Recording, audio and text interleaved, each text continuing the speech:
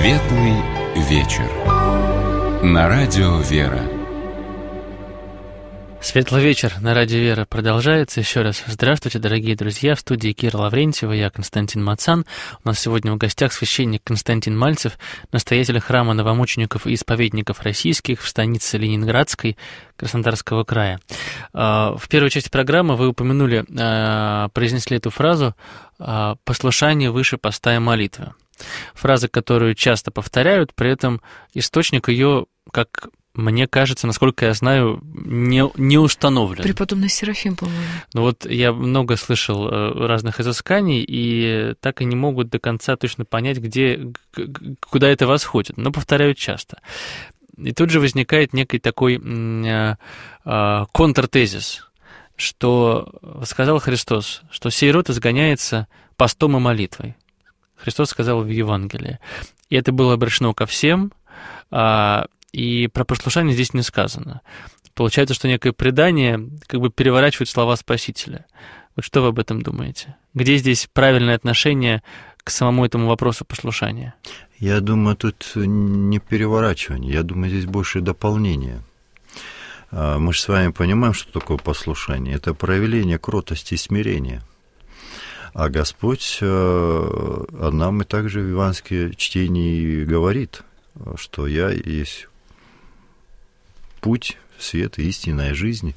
И он всей своей именно земной жизнью показал эту кротость, смирение и,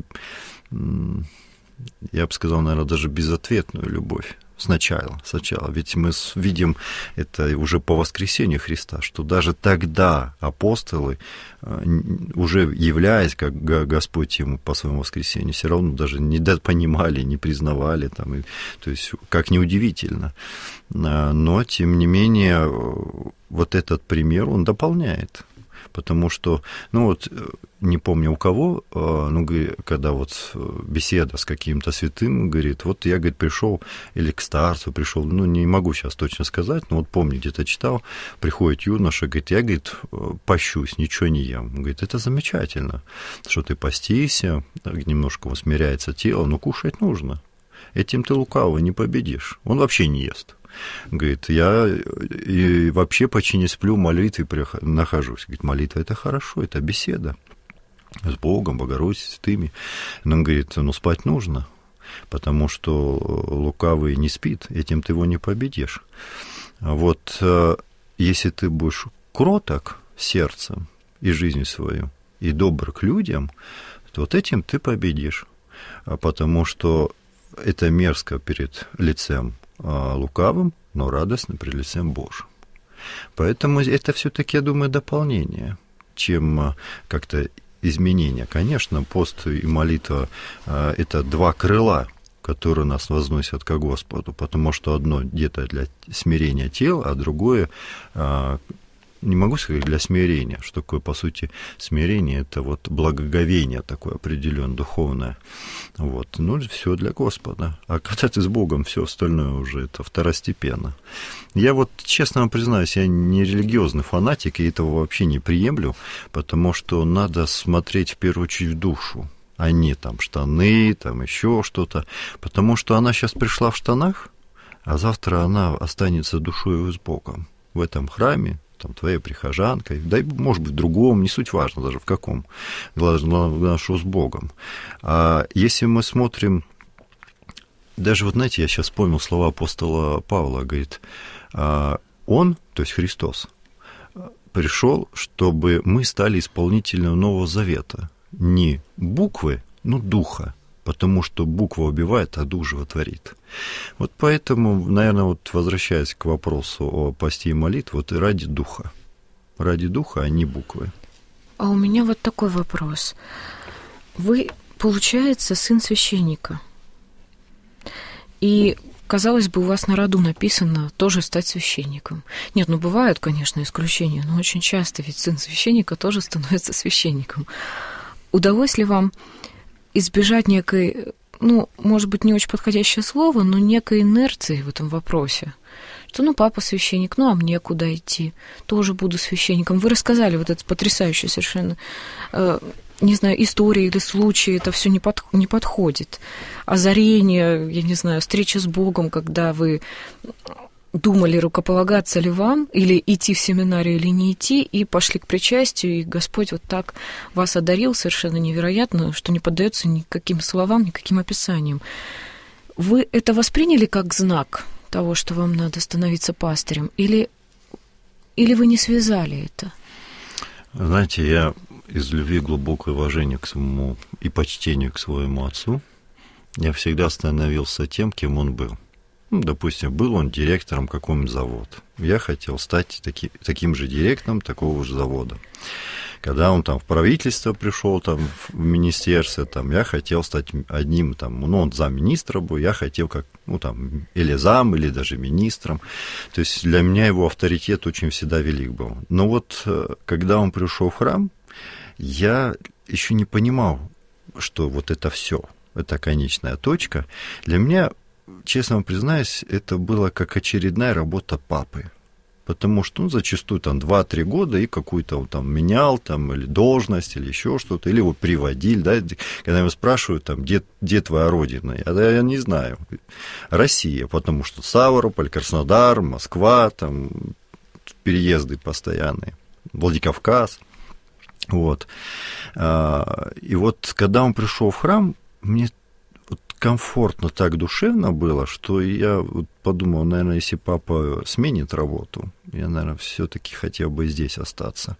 Но это вот такое, знаете, вот первичное ощущение э, храма, первичное ощущение вот э, значимости этого места. А я вам скажу, что у меня есть старший брат, и ему первым предлагалось, э, папа предлагал, не хочешь ли вот, пойти. Он, ну, я более в мягкой форме скажу – более дипломатично, он сказал, папа, я лучше буду хорошим прихожанином, чем не совсем хорошим священником. И он не пошел. Мне также спрашивалось, хочешь или не хочешь? Я говорю, папа, ну, другого для своей души ничего лучше не вижу. Ну, рано или поздно, скорее всего, пойду. Потому что надо было мне как-то семью хоть как-то на, на ножки поставить, потому что мы переехали с, с Орджоникидзе, с Владикавказа сегодняшнего на Кубани к родителям мамы, которых нужно было досматривать, то есть ну, вот, э, частично, скажем исполнить заповедь «Чти отца и матерь твою, и будь э, благо долголетием будешь на земле». Но ведь мы практически недопонимаем эту заповедь долголетия. Это не то, что ты долго проживешь там до пенсии. Долголетие это, по сути, немножко о другом речь, чего сейчас у многих и чем дальше больше нету. Долголетие это вот увидеть деточек, внуков, правнуков. Вот чем долголетие. А если ты не сеешь эти семена относительно старшего поколения, относительно там, родителей, там, бабушек, дедушек, своих родителей, какое у тебя долголетие будет?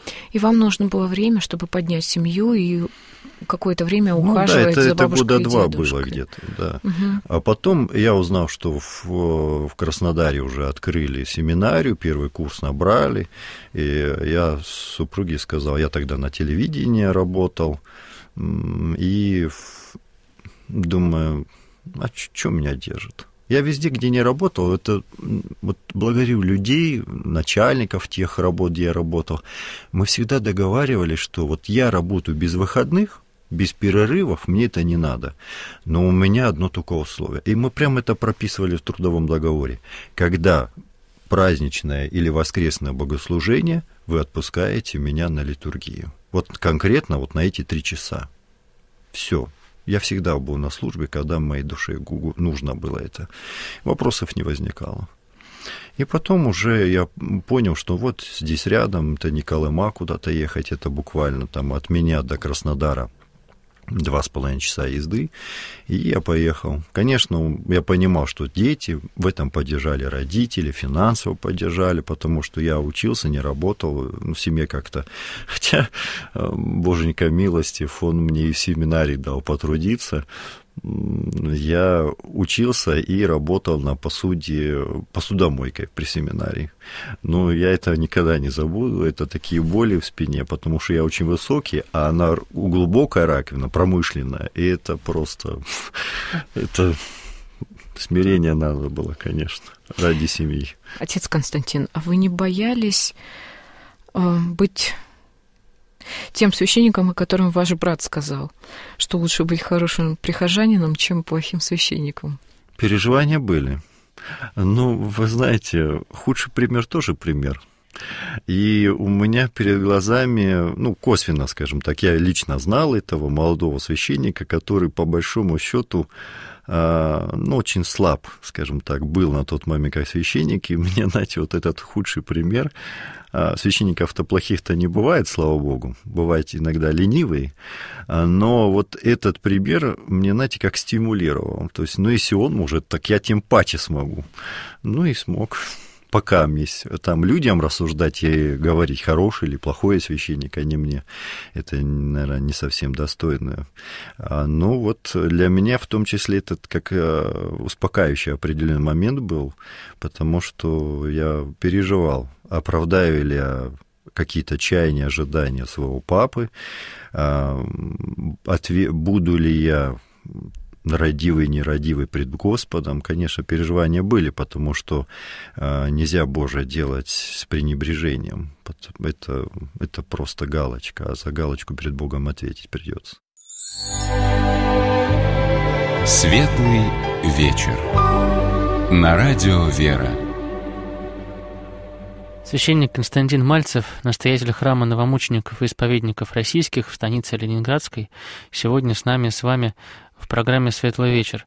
А часто, когда мы разговариваем с а, священниками о, об их семьях, а, уже вот о матушке и детях, возникает тема уже следующего поколения детей священников, и множится истории, когда а, сын говорит папе, ну, уже будучи там в подростковом, например, возрасте, что я может, и хотел бы теоретически быть священником, как ты, но я тебя вообще дома не видел. Я не хочу, чтобы мои дети также не видели меня.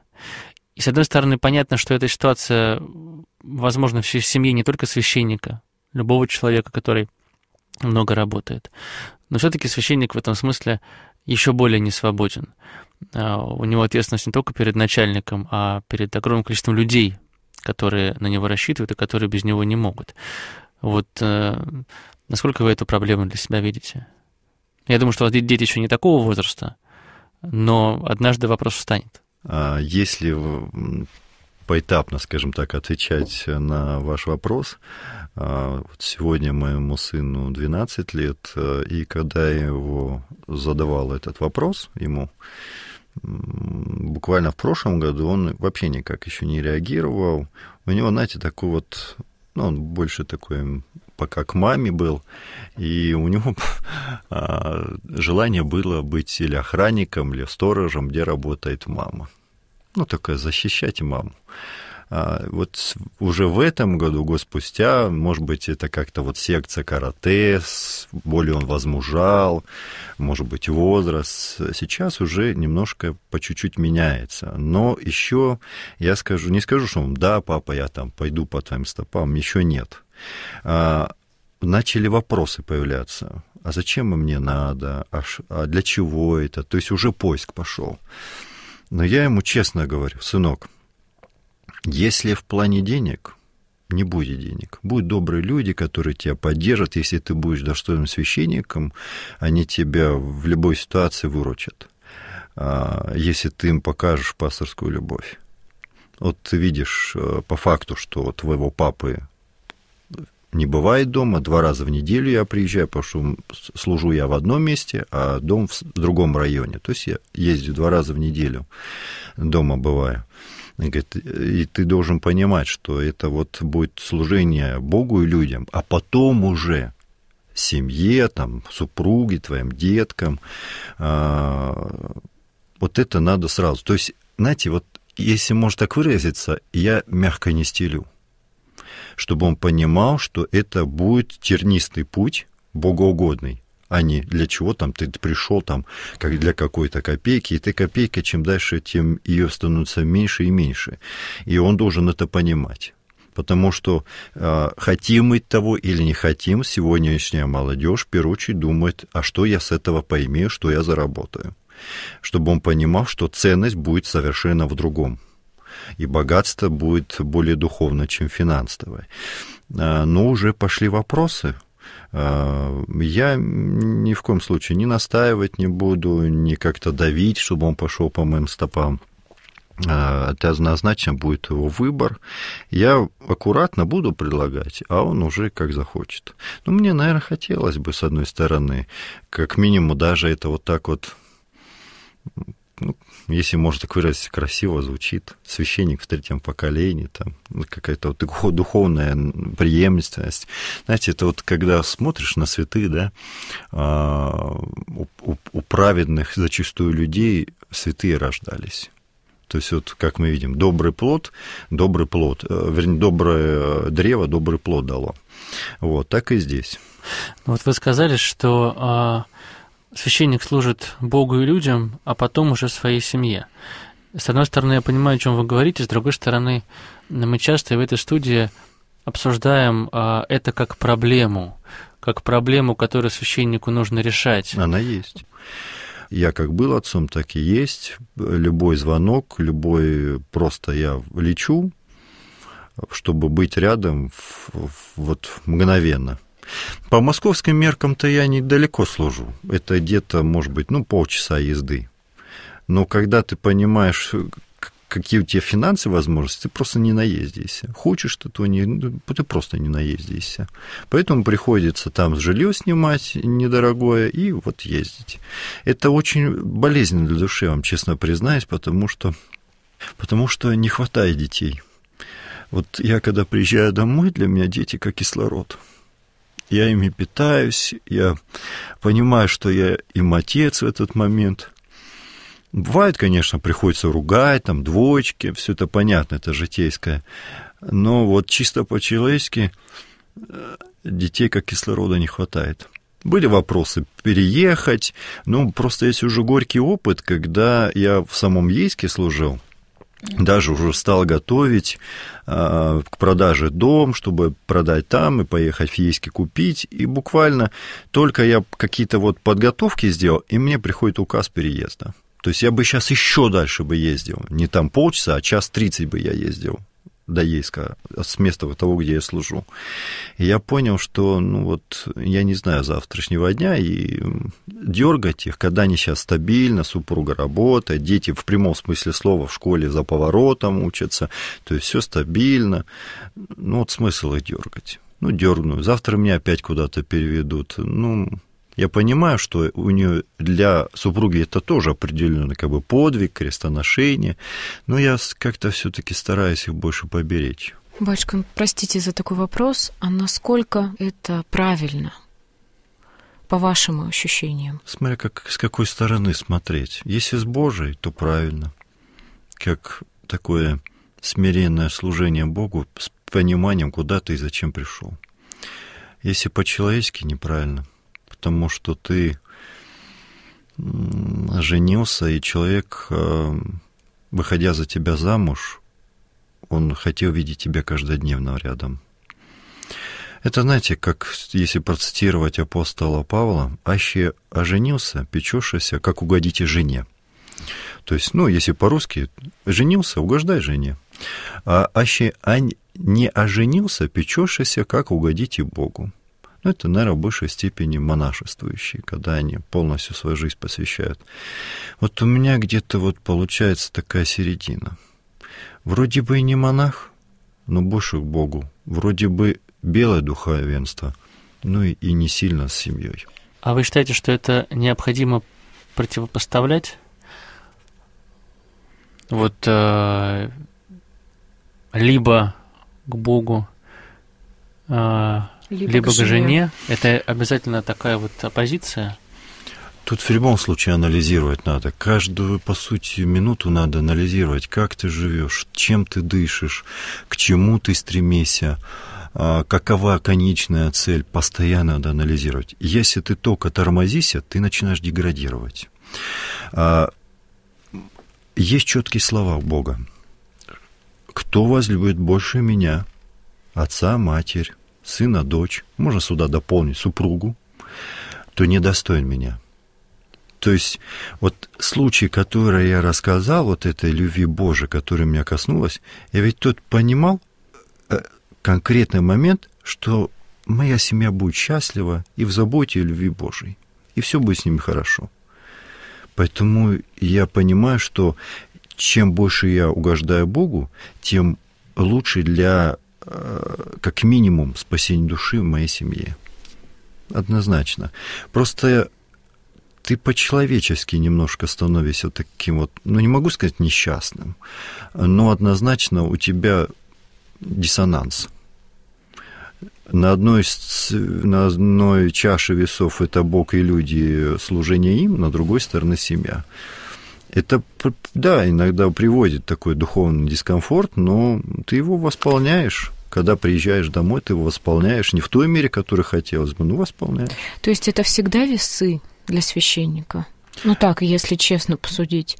Либо у тебя близкие доверительные отношения с женой, вы постоянно общаетесь, и вы на одной волне, либо ты служишь Богу и уже ведешь более монашествующий образ жизни э, внутри себя в своем сердце. Я То бы... есть все равно надо выбирать, получается, выбирать даже белому в священнику. Случае. В любом случае выбирать приходится, потому что изначально ты понимаешь, куда ты пошел. Если ты не понял, куда ты пришел, я вот честно скажу, развернись, иди в другую сторону. Потому что служить для себя, а не для Бога, это уже фарисейство.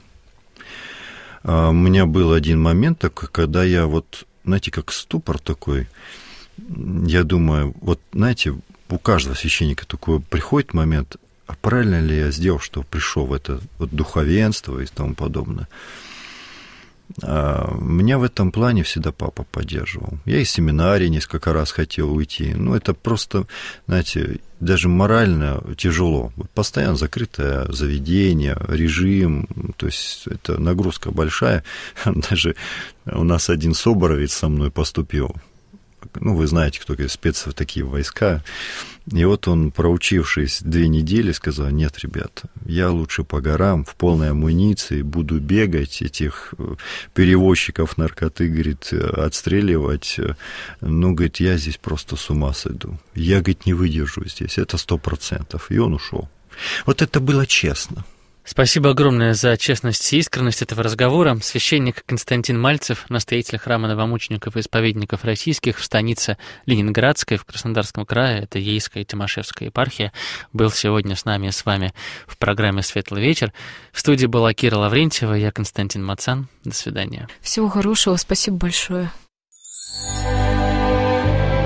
«Светлый вечер» на радио «Вера»